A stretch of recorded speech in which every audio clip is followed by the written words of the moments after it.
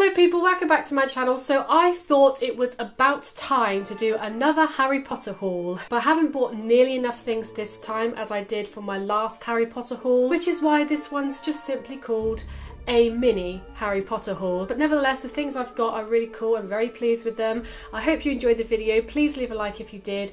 And if you're new to my channel, then why not subscribe to join my little magical corner? Okay, so we're just going to start with books because I actually bought quite a few this month. I just realised that there were quite a few books that I still needed to collect. So I have remedied this slightly. The first one I'm going to show you is one I featured on an Instagram post recently and it is this one. So yeah, this is the Harry Potter A History of Magic. I mean, the cover is just beautiful. It has the phoenix and this nice little writing in the background. It's just it's just such a beautiful book, and yeah, it's just full of really beautiful illustrations and lots of detailed information about magic through history, I guess. So, yes, I'm very pleased with this. It's going to take pride of place in this section of my bookshelf here, which is a kind of Hogwarts subject classes school kind of section just down here. And you know, A History of Magic is one of the books they learned there, so that's going to go beautifully in that section. The next couple of books are some vaults. I already have the character vault, but, but it has taken me this long to collect the rest of the vaults. I recently did an Instagram challenge where I was posting every day and each day was a theme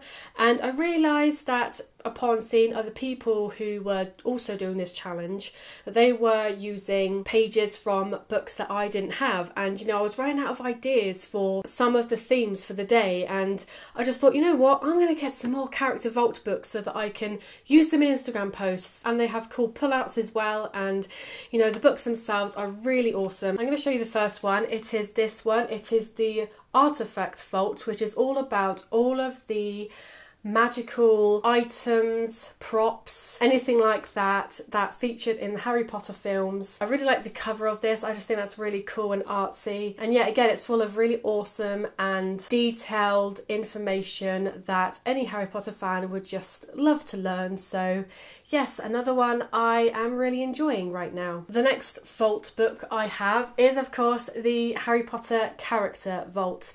I had to get this because again, I need it for Instagram purposes, but also they have really good detailed information about each of the characters, and again, lots of really beautiful illustrations and things. So, yeah, again, definitely happy with that. Another book I have recently purchased is one that I really feel like I should take a look at because I realised from a Geek Gear unboxing when I unboxed the wand, I didn't know whose wand it was and I felt a little bit ashamed of myself that I don't really know what every character's wand looks like so I've got the wand collection book. I mean yeah of course had to get the wand collection book and again this book is really cool it has loads of really detailed and interesting facts and information about all the characters' wands, basically. And yeah, this is definitely something for every Harry Potter fan, and especially all the Harry Potter fans who are into collecting wands. This is for you guys. So yeah, I, I am a wand collector myself, so I'm gonna really find this will come in handy for naming ones that I may not know instantly. that is it for books, but the next thing I have to show you is made of paper and is something to read and is probably one of my most favourite items. So you know the Quibbler, right?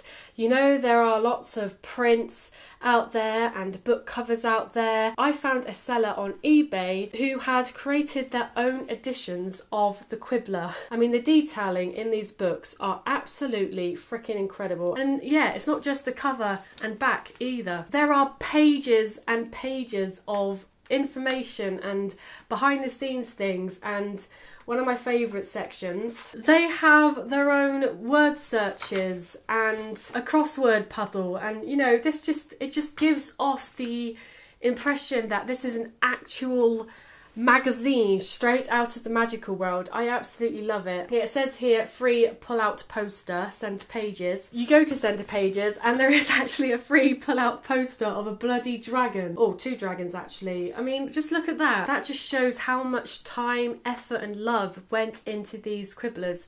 I think they might do like more editions of the Quibbler. I was specifically looking for one that didn't have the free Spectrespecs on the front cover, which is the most popular Quibbler cover that you can find. I wanted one that was different and I found this. I will put a link in the description if you want to buy your own. But yeah, like I said, this is absolutely amazing. It's going in my Luna Lovegood section because, you know, her dad was the editor of the Quibbler. Absolutely love it. Just I cannot praise it enough. And while I was on eBay, I thought I would just look at potion vials or like little potions just so I can again display them on my bookshelf and I came across these. These are miniature potion vials. There are 12 of them. They are already labelled. I mean I would have made my own but I don't have a printer. So you know I found these and I thought yeah that would do. That would do beautifully and they are so so cute as well. So we have Floo powder, Amortentia, Veritaserum, Gillyweed, Skele-Gro, Unicorn Blood, Wolfsbane Potion, Draught of Living Death, Bezoar, Pepper Up Potion, Felix Felicis, and Polyjuice Potion. There are quite a few potions here, and yeah, I thought brilliant for my bookshelf. I will fill these up, and I want to try and get the colour of what I fill these up in as close to the potions as possible. If you guys have any ideas, please let me know in the comments below. I would love to get some inspiration on what to fill these with. And last but not least, the last item in this haul video is this.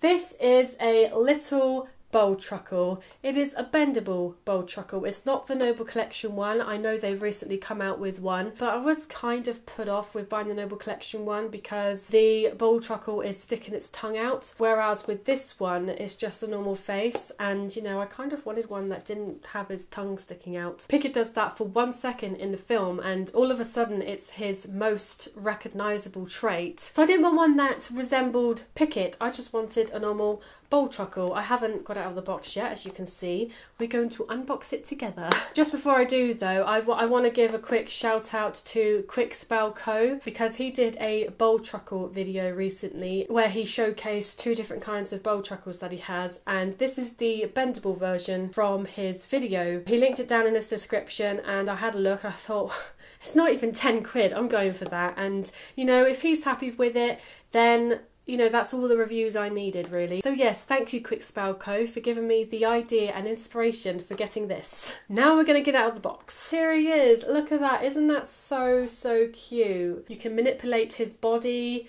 to shape it how you want. Yeah, oh, he's got a cute little face, and the detailing on these are actually really, really good. I am very pleased with this, and it's going to be a welcomed addition into my Fantastic Beasts section on my bookshelf. That's not all that came in the box. With it, you also get a little card with a bit of information about the Bowtruckle inside. That's pretty cool. And you get two cute little magnets with it as well, which also are pretty cool. So that is everything from my mini Harry Potter haul for this month. Please let me know in the comments what were your favourite items from this haul. Mine has definitely got to be the Quibbler and the little Bowtruckle. They're just really, really cool, but the books also are every Harry Potter collector's dream. If you like this video, please don't forget to give it a thumbs up because that would be awesome. If you're new to my channel and you haven't already, then why not take a look around and subscribe to join my little magical corner. I make videos every single week, so come and subscribe to join the fun. Thank you all very much for watching, and I will see you next time.